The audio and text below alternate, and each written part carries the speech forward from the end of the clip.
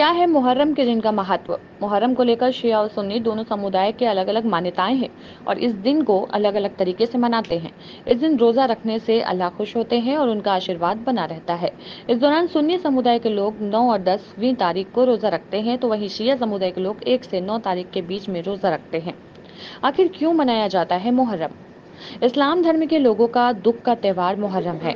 हज़रत इमाम हुसैन अपने बहत्तर साथियों के साथ मुहर्रम माह के दसवें दिन करबला के मैदान में शहीद हो गए थे। इसलिए उनकी शहादत और कुर्बानी के तौर पर इस दिन को याद किया जाता है और उनकी शहादत और कुर्बानी को याद करके ही मुहर्रम का त्यौहार मनाया जाता है। इस दिन मुस्लिम संप्रदाय के लोग ताजिया निकालते हैं। इसे हज़रत इमाम हुसैन के मकबरे का प्रतीक मानते हैं और जुलूस निकालकर लोग शोक व्यक्त करते हैं।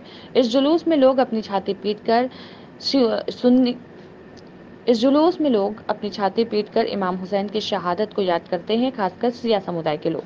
ताजिया क्या है और इसका क्या है महत्व?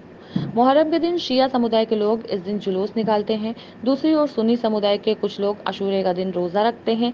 ताजिया हज़रत इमाम हुसैन की कब्र के प्रतीक के रूप में माना जाता है। इसे विभिन्न सामग्रियों जैसे सोना, चांदी, लकड़ी, बाँस, स्टील, कपड़े और रंग बिरंगे कागज़ से मकबरे के आकार में बनाया जाता है। मुस्लिम समुदाय अशूरे के दिन ताजिया और जुलूस निकालते हैं। ये जुलूस शोक और मातम का प्रतीक होता है, जिसमें लोग छाती पीटते हैं और हुसैन की शहादत को याद करते हैं।